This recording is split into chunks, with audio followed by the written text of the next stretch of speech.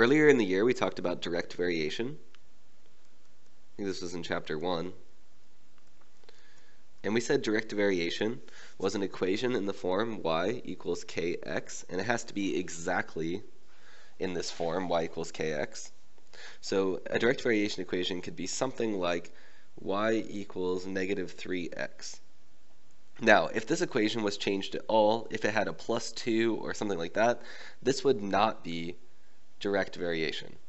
Has to be in the simple form y equals kx, like y equals 1 half x, where k is the constant of variation. But this is all review from chapter 1. Now in this chapter, we're going to learn about inverse variation, which is very similar to direct variation, except it's inverse. For direct variation, as one of the variables increased, the other one increases as well. As y gets larger, x gets larger. Inverse, inverse variation is the opposite. It's written like this.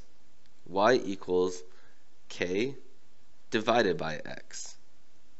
y equals k divided by x, and k cannot be equal to 0. In this equation, this k is still the constant of variation. So let's say it tells you what y and x are, and then it says find the constant of variation. So it'll say that y is 7, maybe, and it'll say that x is 4. We set this equal to k. The constant of variation equals 28.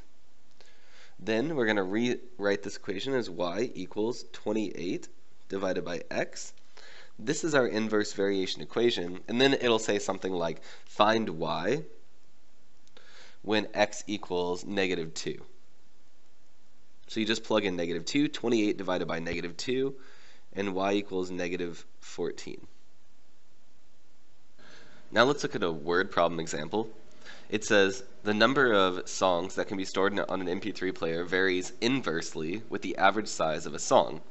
A certain MP3 player can store 2,500 songs when the average size of a song is 4 megabytes. Write a model that gives the number n of songs that will fit on the MP3 player as a function of the average song size s in megabytes. So it makes sense that this MP3 player can hold less songs if the file sizes are larger. So that's why this is inverse variation. We're just going to use our equation y equals k over x. And it gives us some information to start with. It says when there's 2,500 songs, when each song is 4 megabytes. So we're just going to plug that into x and y. 2,500 songs equals k over 4. We're going to solve for k. k is equal to 10,000. That's our constant of variation. So writing that back into our equation, we have y equals 10,000 divided by x.